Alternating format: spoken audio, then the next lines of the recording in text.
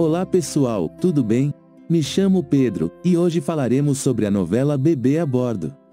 Ela é uma novela brasileira da Rede Globo que passava sempre no horário das 19 horas, foi exibida de 13 de junho de 1988 a 11 de fevereiro de 1989, com total de 209 capítulos, escrita por Carlos Lombardi, teve colaborações de Luiz Carlos Fusco e Maurício Arruda com algumas participações de Ari Fontoura, Armando Bogos, José de Abreu, Guilherme Fontes, Isabela Garcia, Tony Ramos, Dina Sfati e Maria Zilda Bethlen. Agora vamos à lista de atores da novela Bebê a Bordo que infelizmente não se encontra mais entre nós, e se você ainda não é inscrito aqui no canal, já se inscreve pois temos vídeos aqui todos os dias. Carlos Eduardo Dolabella, que interpretou Augusto, faleceu dia 26 de maio de 2003, o ator era diabético, e em 2002 sofreu um infarto por causa de algumas complicações cardíacas, foi hospitalizado em fevereiro de 2003 e ficou internado até o dia do seu falecimento, estava com 65 anos. Alfredo Murphy, que interpretou advogado, faleceu dia 11 de outubro de 1993, vítima de câncer no estômago, estava com 64 anos. Fábio Sabag, que interpretou o Dr. Valcor, faleceu dia 31 de dezembro de 2008, vítima de câncer de próstata, estava com 77 anos. Germano Filho, que interpretou Cozinheiro, faleceu dia 26 de abril de 1998, vítima de insuficiência respiratória, estava com 65 anos. Paulette, que interpretou Oswaldão, faleceu dia 30 de julho de 1993, vítima de um coma diabético, relacionado ao vírus da AIDS, estava com 41 anos. Fábio Pilar, que interpretou Amado, faleceu dia 14 de julho de 2010, o ator tinha câncer, o motivo do falecimento não foi revelado, estava com 50 anos. Teresa Rachel, que interpretou Eva, faleceu dia 2 de abril de 2016, vítima de decorrência de um quadro agudo de obstrução intestinal, estava com 80 anos. Chiquinho Brandão, que interpretou Joca, faleceu dia 4 de junho de 1991, em um acidente automobilístico na Lagoa Rodrigo de Freitas, ao retornar das gravações da minissérie O Sorriso do Lagarto. Estava com 39 anos. Márcia Real, que interpretou Valkyria, faleceu dia 15 de março de 2019, sofria de Alzheimer, o motivo do falecimento não foi divulgado, deixou três netos, e estava com 90 anos.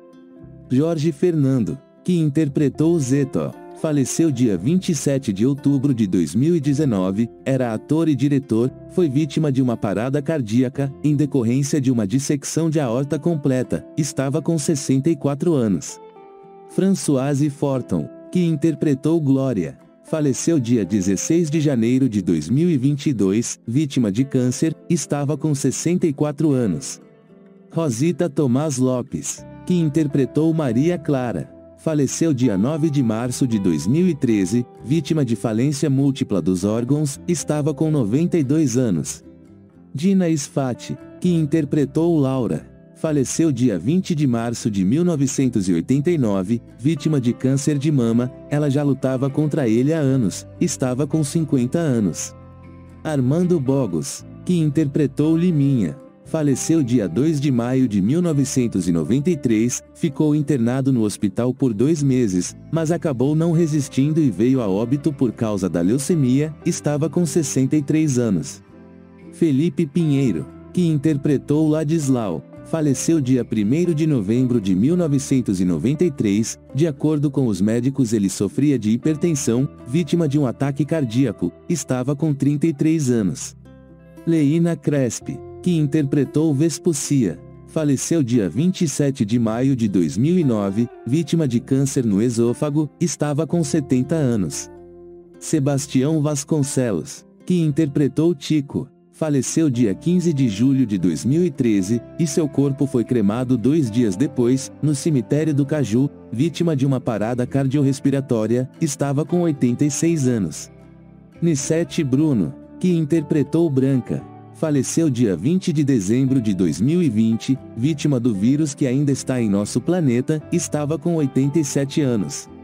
Rodolfo Botino, que interpretou Antônio, faleceu dia 11 de dezembro de 2011, vítima de embolia pulmonar, ocorrida durante um exame de ressonância magnética, estava com 52 anos.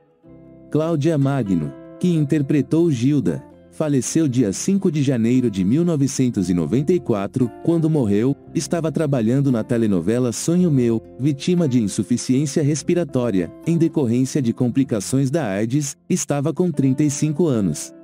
Irving São Paulo, que interpretou Bad Cat, faleceu dia 10 de agosto de 2006, vítima de falência múltipla de órgãos decorrente de uma pancreatite, deixou dois filhos, estava com 41 anos. Deixe nos comentários se gostaria de assistir a novela Bebê a Bordo novamente. Espero que tenham gostado do vídeo e até o próximo vídeo.